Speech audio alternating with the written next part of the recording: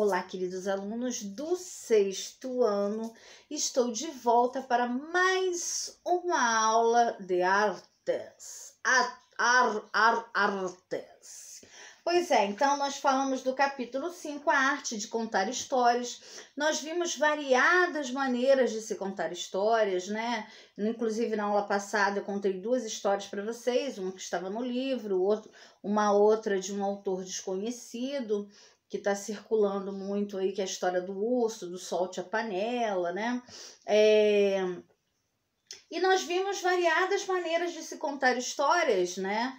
É, com bonecos, em roda de conversas, em rodas de leitura, utilizando os tapetes, como eu passei para você, utilizando bonecos, utilizando né, a, os objetos para contar uma história né? E a tradição oral, as poesias, né? A tradição oral que é passada de geração para geração, ah, as histórias que a sua família conta, que a sua avó conta, que seu pai já contou e as referências que você tem, né, do dia a dia. É importante frisar uma coisa que esse capítulo é muito importante, que é que fala de quê? Da importância de você saber falar e de você saber também ouvir, né? O que você ouve e o que você fala, o que você transmite para as pessoas, né? É o que ah, eu ouvi a coleguinha falando que o, o cabelo da da fulana, da cicrana é vermelho, azul claro, né? É vermelho azul claro? Nossa, o cabelo da ciclana é vermelho azul claro? Que vermelho azul claro? Isso não existe. Como pode ser um cabelo vermelho azul claro? Né? Mas se o cabelo Será que o cabelo é vermelho azul claro? Você viu se o cabelo é vermelho azul claro? Então você tem que ter certeza do que você está falando para o outro para que isso não se torne o quê? Uma inverdade. Então, é a importância, quando a gente fala de contar histórias, a gente está falando de contar a história também, né, da vida do outro, daquele que está ali do nosso lado, né? E as pessoas hoje em dia têm muito essa mania de falar da vida do outro, da vida das outras pessoas, de observar mais os movimentos da outra pessoa do que o seu próprio movimento, né? Do que o seu, do que o seu próprio falar, do que o seu próprio ouvir. A gente tem que entender o que está sendo dito para depois a gente transmitir. Então tem toda esse esse capítulo, ele tem toda uma é uma questão muito interessante que não está ligada só ao fato da contação de histórias em si. Sim, a contação de histórias é maravilhosa. Você pode contar histórias de todas as maneiras.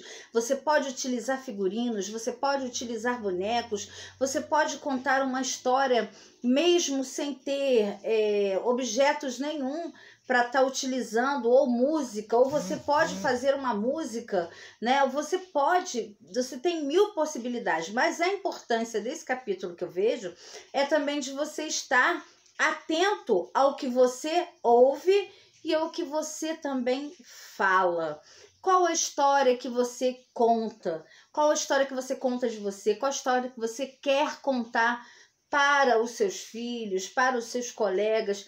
Será uma história boa? Será uma história ruim? Que história é essa, né? Então fica aqui registrado que esse capítulo foi muito importante para a gente perceber não só a questão artística, mas como a questão pessoal mesmo, a questão do nosso dia a dia, a importância de você estar falando, de você estar ouvindo e de você estar entendendo tudo que se passa ao seu redor né? E dar importância às histórias que são contadas, né? Por nossos pais, por nossos avós, dar importância ao que se ouve e ao que se fala, ok? Então, nós vamos aí é, para a correção, vou dar a correção da página 59 para você no vídeo mesmo.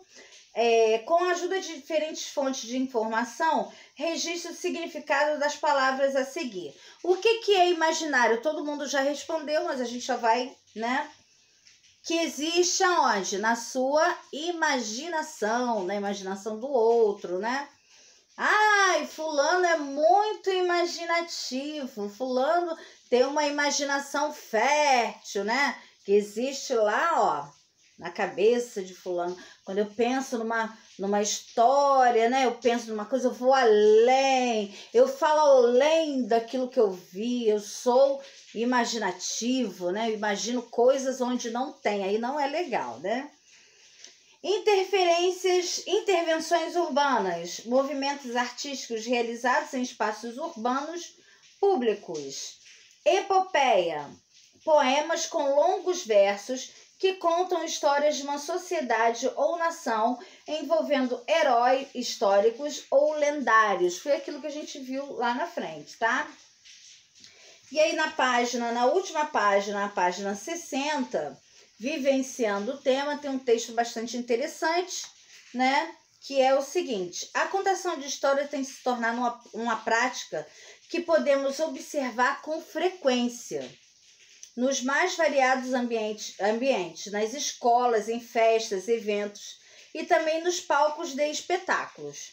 Vimos que a prática de contar história é muito, muito antiga né? E, e, vimos que a prática de contar história, né, ela vem lá, faz parte da cultura do homem desde a antiguidade, há muito, né, muito tempo. Hoje em dia, a contação de histórias se utiliza de muitos recursos que contribuem pra, para a comunicação com o espectador, provocando sua imaginação por meio dos elementos visuais e sonoros, que vão além da simples leitura e estimulam o gosto pela literatura e pela arte. É o que falamos anteriormente, né? Também podemos encontrar os trabalhos de autores e contadores de histórias na internet, no qual estamos em contato com a sua obra escrita e contada por meio de vídeos disponibilizados ao público. Como surgiram os vagalumes é um livro de Stella Barbieri e Fernando Vilela o livro conta a história de uma estrelinha que por acidente cai na terra e acaba recebendo a ajuda de vários bichos para voltar para casa.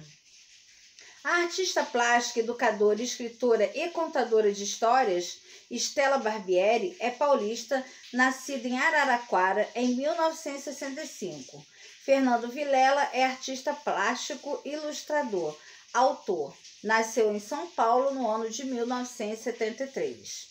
Então aqui conta um pouco da história né, da, da, da escritora e do ilustrador que está aqui, ó. Como surgiram os vagalumes. A história, tá?